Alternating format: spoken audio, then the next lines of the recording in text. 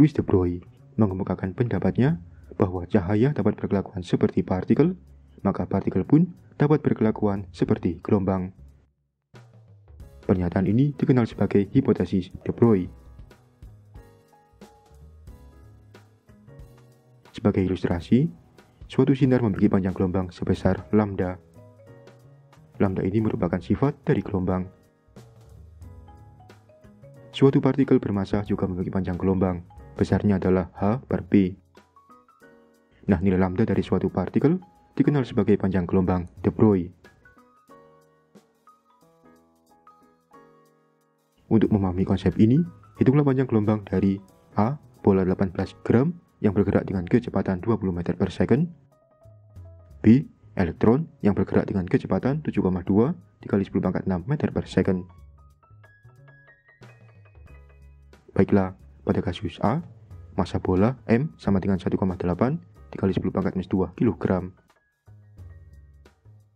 Kecepatan bola V sama dengan 20 meter per second. Gelombang de Broglie dari bola adalah lambda sama dengan H per mv. Karena momentum dari partikel adalah mv. Memasukkan nilai H, M, dan V.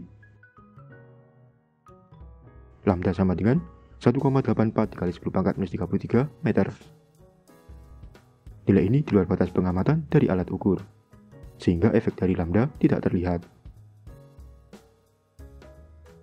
Pada kasus B, massa elektron ME sama dengan 9,11 dikali 10 pangkat minus 31 kg. Kecepatan elektron V sama dengan 7,2 dikali 10 pangkat 6 meter per second.